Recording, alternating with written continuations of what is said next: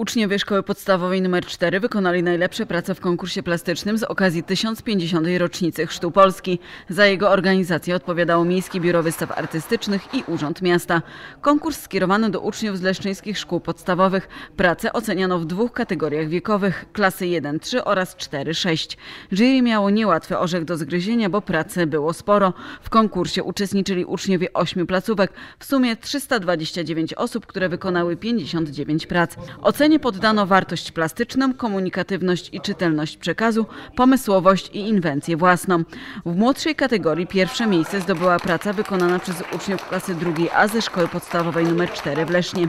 Wykonali ją Julia Angier, Emilia Dębińska, Malwina Kolibabka, Tobiasz Lorych, Miłosz Miądowicz, Małgorzata Pawlak, Alan Stężycki, Maja Zakrzewska.